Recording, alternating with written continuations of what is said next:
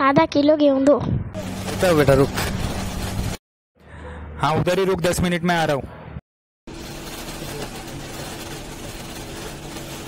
एक मल्टीग्रेन आटा दे दो। देता हूँ सर एक मिनट।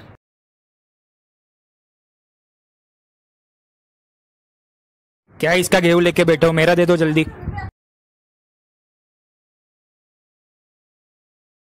खुला गेहूँ हो या मल्टीग्रेन आटा? अनाज अनाज होता है। भूख गरीब की हो या अमीर की, भूख भूख होती है। हम इज़्ज़त करते हैं, खाने की भी और खाने वालों की भी। कन्हैया जनरल स्टोर, निया एस बी रोड, पुणे।